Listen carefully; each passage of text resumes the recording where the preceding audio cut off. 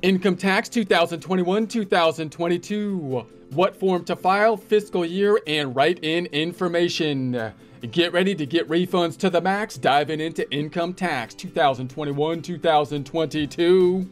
Most of this information can be found in the Form 1040 Instructions Tax Year 2021 found on the IRS website, irs.gov, irs.gov. What form to file? This should be an easier question than it once was, at least for the individual income tax returns, because instead of having multiple different forms, an easier and a more complex one, they basically have the form 1040, and then you can essence, in essence, add schedules to it, adding complexity in that way. So everyone can file the Form 1040. Then there's a Form 1040 SR, which is available to you if you were born before January 2nd, 1957 fiscal year filers. If you are a fiscal year filer using a tax year other than January 1st through December 31st, this would be kind of a rare thing generally for individual income tax returns here. Write, quote, tax year, end quote, at the beginning and ending months of your fiscal year in the top margin of page one of Form 1040 or 1040 SR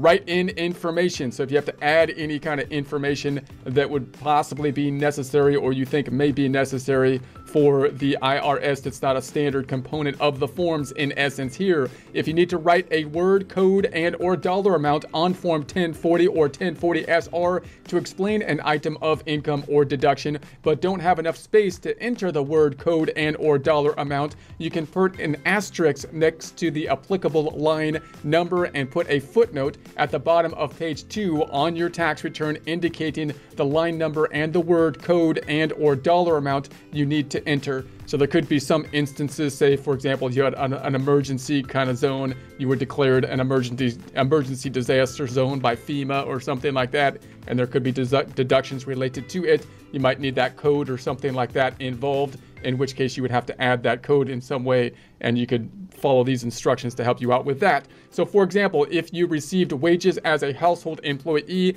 and didn't receive a W-2 because you were paid only $2,000, the instructions for line 1 state that you must enter quote HSH end quote and the amount of the wages next to line 1. You may instead put an asterisk uh, next to line 1, and in the white space at the bottom of the page 2 of Form 1040 or 1040 SR, enter the asterisk to kind of indicate that they're line 1, HSH, and then there's the $2,000 you could put there.